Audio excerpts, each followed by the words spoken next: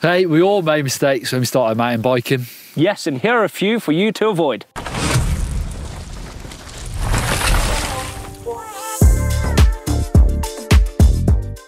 Right, there's no denying it. These bikes are incredibly desirable, right? With their carbon fiber frames, dripping in that gold colored suspension and dropper post, wireless gears, even little computers on your forks and your rear shock to tell you what your suspension needs to do on the trail. None of this is going to make you faster or give you that fun aspect. So start off with the bike that you already have right now in between your legs or head over to your local bike shop to help you decide what bike is perfect for you.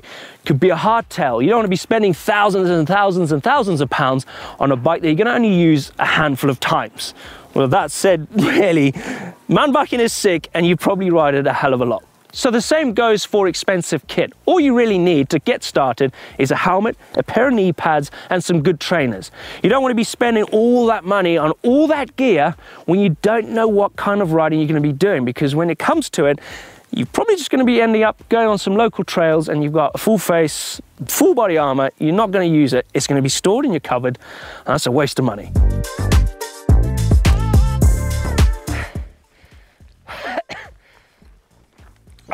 This is Blake.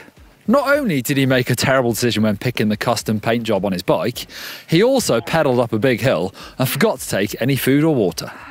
This is Neil. Hello.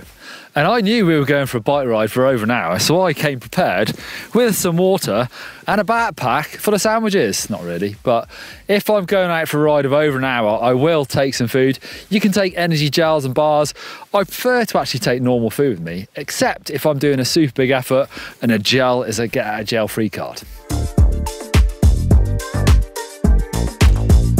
I would say don't bite off more than you can chew. Most bike parks these days have graded trails from green, blue, red, black, and up to diamonds. I would try and pick a trail that you know you can ride and get good at it because some bike parks now have massive jumps obstacles. They're open to the public, but um, obviously you want to be pretty good and pretty confident those before you start hitting them. Exactly. It goes the same goes to riding out there where you don't have bike parks and you go out into the wilderness.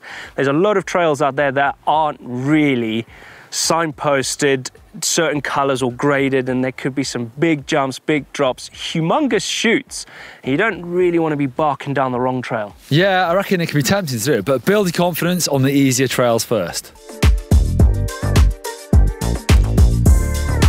riding too far. If you're coming from road cycling, you probably scoff at a typical mountain biking ride being about 30 kilometers. Road bikes are built to cover distance. From their dropped handlebars to their skinny tires, they are designed with aerodynamics and average speed in mind. Mountain bikes, on the other hand, are built for fun.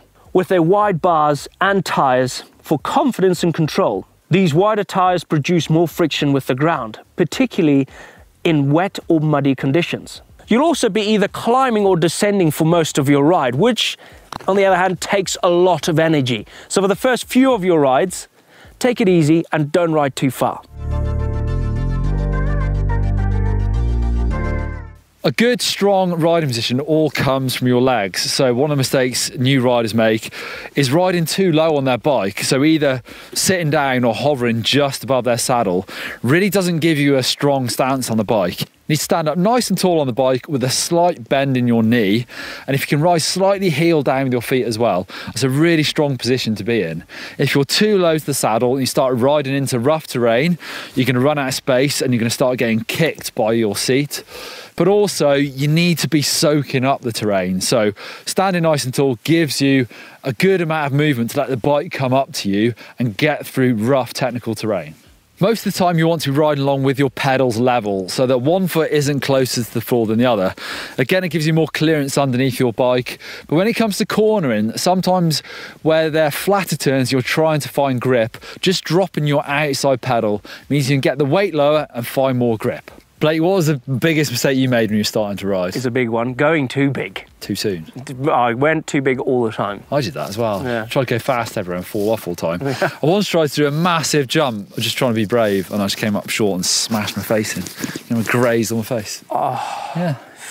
Anyway, let us know in the comments down below what is your biggest mistake you've done and if you have done any of these mistakes. And if you're new to mountain biking, don't make these mistakes. And subscribe. See you later.